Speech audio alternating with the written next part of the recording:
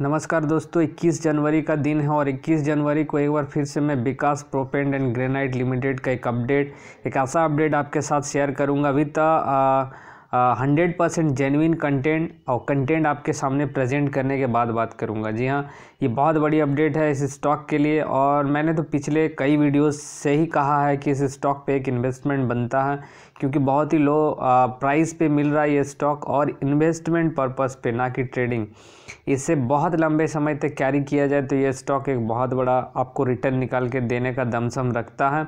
ऐसे ही अपडेट मैं आपको इस वीडियो पे शेयर करूँगा। वीडियो पूरा देखने की कोशिश कीजिएगा। इस वीडियो पे मैं अभी जो स्टार्टिंग करूँगा, इस स्टॉक के सीएजीआर से स्टार्ट करूँगा। देखिए, पिछले 10 सालों में 7.52 परसेंट का इसने सीएजीआर दिया है। लेकिन इसके बाद आप किसी भी टाइम फ्रेम पे देखिए, पाँच साल, तीन साल और एक साल, ये बहुत बेहतरीन सीएजीआर नज़र आता है। मैं इसे परख नहीं रहा हूँ सी से, क्योंकि कंपनी काफ़ी नीचे से कम की है। जब मैं इसका चार्ट आपके सामने प्रेजेंट करूँगा, तब आपको समझ में आएगा। ये एक साल का चार्ट है। ये स्टॉक सत्रह रुपये का हाई बनाया था और नीचे आया। यहाँ पे देखिए जो इस स्टॉक ने कमाल किया है, वो 2018 से इस स्टॉक पे एक रैली आई है। बाकी इधर ये साठ पैसा और एक रुपये पे ही ट्रेड करता था, लेकिन 2018 के अगस्त सितंबर में इस स्टॉक पे एक रैली आई और स्टॉक को सत्रह रुपये तक ले गया। फिर से इस पर लोअर सर्किट का दौर स्टार्ट हुआ और ये तीन रुपये पे आ गया था और उसके बाद फिर से एक अच्छी जर्नी हम लोग को देखने को मिल रहा है। एक डिप मिला था जहाँ पे अगर किसी ने बाई किया होगा तो अच्छी बात है, जो कि आपको मैं अभी दिखा रहा हूँ।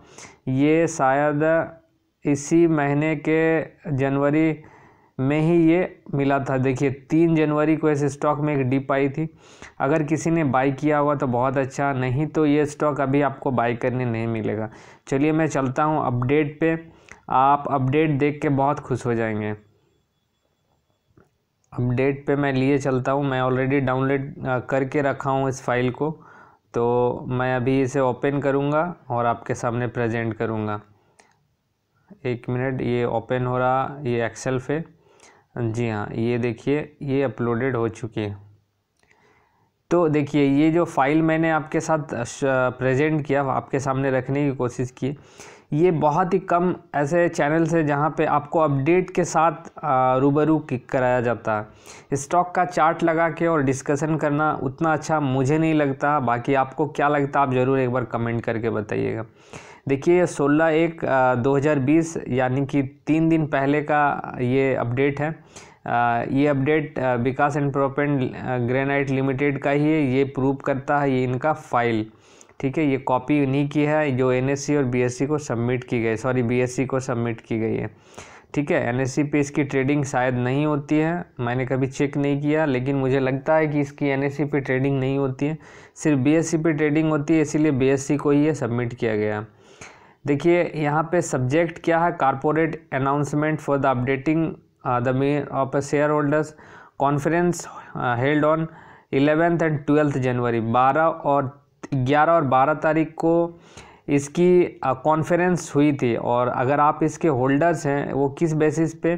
तो Kaparda mines and also in Jodhpur for a discussion for the prospective working and attending the question answer ये स्पेशली हमारे जैसे होल्डर्स के लिए ही बुलाया गया था कॉन्फ्रेंस ग्यारह और बारह तारीख को।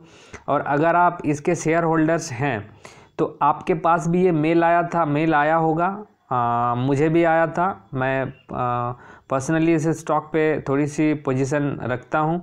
मैं ये डिस्क्लेमर देना चाहता हूँ कि मैं आपको ये रिकमेंड नहीं कर रहा हूँ इस स्टॉक को बाई सेल करने का क्योंकि किसी को भी ये आ, हक नहीं है आ, कि जिस स्टॉक पे आप खुद से बाइंग करके रखो वो किसी को सलाह दे।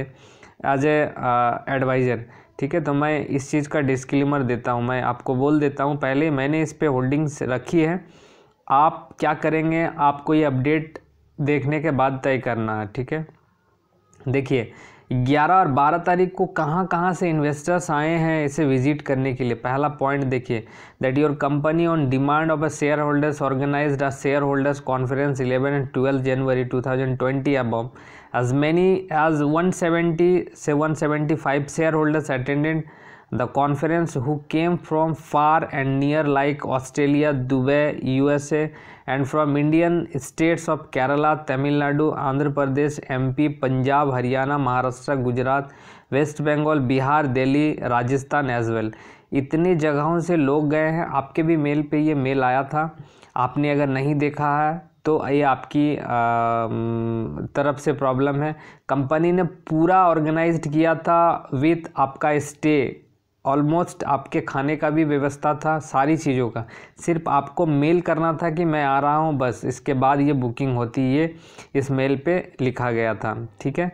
They had an opportunity to chat आप इसे कमेंट करके हमें बताइएगा कितने लोगों को ये मेल मिला था। Opportunity to chat and the prognosticated the prospective business opportunity with the foreign uh, participants and the top management of the company had discussed various issues of the Jodhpur ठीक है तो ये जो दो प्लांट्स के बारे में डिस्कशन थी ये ग्यारह बारह को रखी गई एक सौ पचहत्तर शेयर होल्डर्स वहाँ पे पहुँचे थे अभी बात करते हैं कि आगे इसमें क्या हो रहा है ये देखा जाए तो that the share holders acquire is full of barely rocks hard granite manufacturing facilities who ordinary grade proppants were manufactured and a packed for the shipping the three containers aggregating wing sixty nine tons duly loaded of a plates ठीक है? The sixty nine tons proppant would be use for the bigger down hole trial in the Ghanman's basins, ठीक है, shale gas, non age resource of Algeria to the tune of a two eighty two trillion cu feet potentials of a scabbed for the next forty five years ये बहुत बड़ी खबर है, बहुत बड़ा मतलब पॉइंट है कि पचहत्तर, sorry, seven, forty five years तक ये जो इनको मिला है, ये ग्रेनाइट यहाँ पे, इस बेसिन पे, वो लगभग लगभग पैंतालीस सालों तक चलने वाला मतलब उनको वो जो चीज़ है, जो माइंस पे अब माइंस से जो निकल, निकलती है, वो लगभग लगभग पैंतालीस सालों तक ख़त्म नहीं होने वाली एक आपको वो रॉक मिली है, जो जिससे वो प्रोपेन निकाला जाएगा, ठीक है?